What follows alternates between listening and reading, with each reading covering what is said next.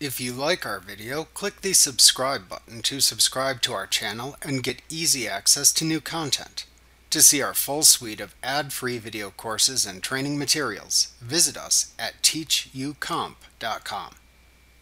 You can create liability accounts to track amounts you need to pay to someone else. If the liability is to be paid off within the year, it is another current liability.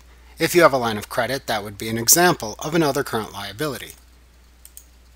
You can also create long-term liability accounts for amounts you expect to pay off in a period greater than a year.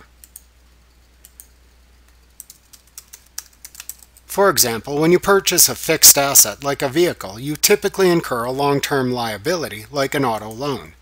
When you make payments on liabilities, note that the total amount due will often be attributed partially to the liability account, reducing the amount owed, and partially to interest expense.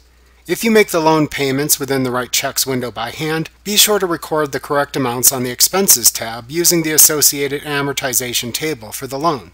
That way you will know how much of each payment made will reduce the amount owed and how much is interest expense. You can also make use of the Loan Manager within QuickBooks to assist you in creating loan payments if you know the terms of the loan. Remember to click the subscribe button to see more of our videos.